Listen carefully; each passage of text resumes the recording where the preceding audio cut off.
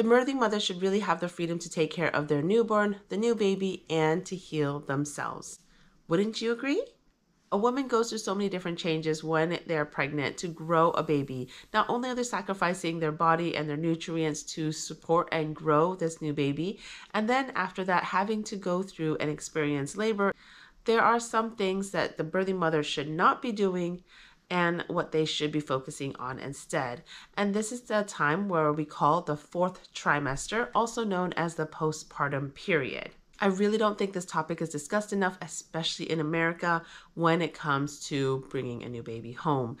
When planning for a new baby, there's so much focus on what materials you need, what you should buy, your birthing plan, how to prepare for labor delivery, and then we always overlook the postpartum or the fourth trimester period once a new baby has arrived, they are just so super cute, and so many people start approaching that they want to come see the new baby. And I totally get they're super cute. It's like such a short amount of time and a special moment when they're this little.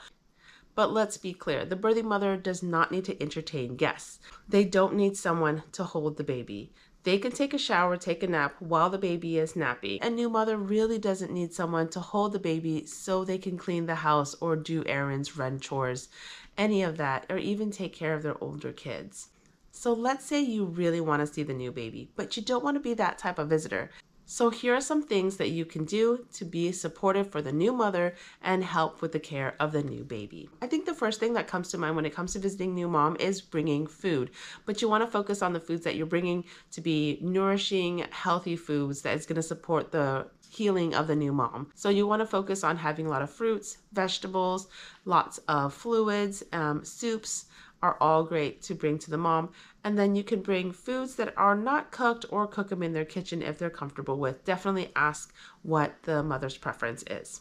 Now, instead of just bringing food, you'll also want to make it so much easier for the new mom. So let's do some chores. Grab a broom, start sweeping, vacuuming, mop the floors, clean the toilets, clean the kitchen, clean the sink, wash dishes, put away all the dishes, do the laundry, put away the laundry, that's folding, hanging, and putting away the laundry. That's the longest step. Okay, if you have a washing machine, everything else is pretty self explanatory and easy to accomplish. Another great thing to do is to run errands. See what they really need. Do they need groceries? Do they need pads? Do they need diapers? Are they missing anything? Do they need medicines, creams? Is it something that they're missing at home that they didn't realize during postpartum care that they truly need? Go and grab those for them. If this is not their first baby, then there's also the older kids to tend to.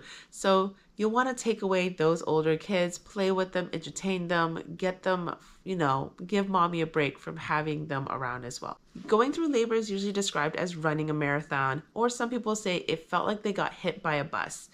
Um, essentially, their body is simply really sore. And I'm talking about legs are sore, arms are sore, back is sore, stomach, abdominal cramping is happening.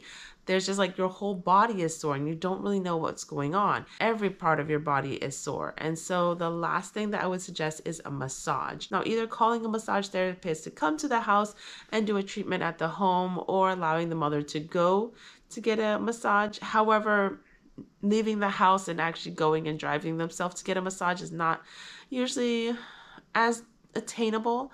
So if you're comfortable, as a visitor, I would highly suggest offering to give the mom a massage, either on her legs, arms. Massage is highly necessary. As a visitor visiting a new mom, your role is to allow the mother to rest and heal herself.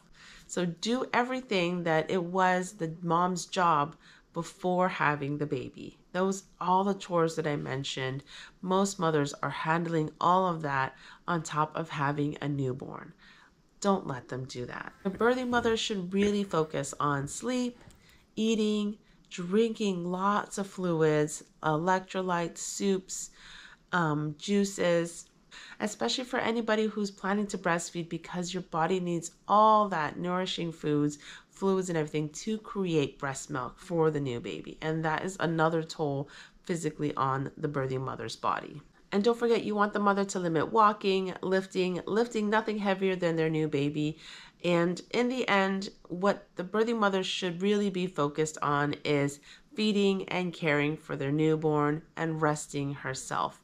Because mothers are known for prioritizing their family, their children, instead of themselves. I know I do that. I make sure my kids are well taken care of before I focus on myself. And my care for my own self is usually placed in the back burner. I'm bringing this up because this is especially true in the American culture. Here in America, there is no federally mandated maternity leave.